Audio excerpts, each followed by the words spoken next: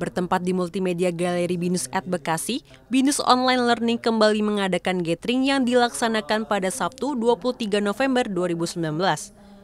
Dibuka oleh pembacaan doa dari Bapak Dian Wardana, Profesor Idris Gautama selaku Direktur Binus at Bekasi memberikan kata sambutan dan mengajak mahasiswa Binus Online Learning untuk berkeliling kampus.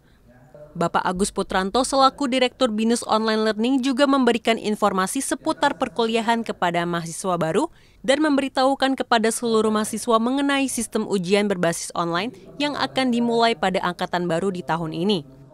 Pemberian sertifikat serta souvenir diberikan oleh Profesor Idris Gautama dan Agus Putranto kepada empat mahasiswa terbaik Binus Online Learning periode Binusian 18 hingga 22. Untuk pemberian apresiasi yang pertama diberikan kepada Vivi Suryanti dengan IPK 4, kemudian Atika Nadira Rosanti yang mendapat IPK 3,90. KO Bernadetta Olivia Kosasi dengan IPK 3,95 dan apresiasi yang terakhir diberikan kepada Bunga Sonya Oktavina dengan IPK 3,94. Dalam talk show Art of Networking, William Gondokusumo selaku CEO Campaign.com memberikan materinya untuk dapat mempergunakan apa yang ada untuk membuat suatu peluang. Ia juga memberitahukan alasan mengapa suatu isu dapat cepat berkembang karena empat cara, yaitu dari tidak tahu menjadi tahu, peduli, lalu membuat suatu tindakan.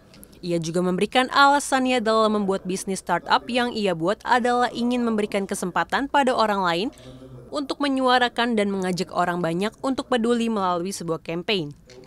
Para mahasiswa juga diperkenankan untuk berkenalan satu sama lain dan sharing mengenai pekerjaan yang ia jalani kepada seluruh mahasiswa. Empat mahasiswa berprestasi yang mendapat penghargaan juga memberikan tips and triknya dalam mencapai IPK terbaik, yaitu dengan mengikuti segala peraturan dalam sistem online learning, selalu mengerjakan tugas tepat waktu, dan tidak pernah bolos dalam video conference.